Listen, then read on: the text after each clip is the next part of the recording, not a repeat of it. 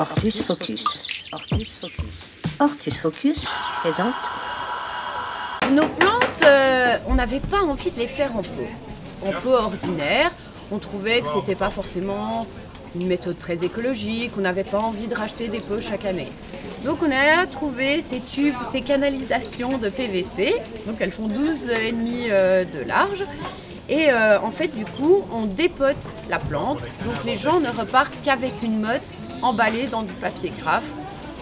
Les plantes ne traînent pas chez eux, ils les plantent directement parce qu'il n'y a pas de pot. Donc c'est quelque chose qui fait un petit peu peur de laisser une plante sans pot.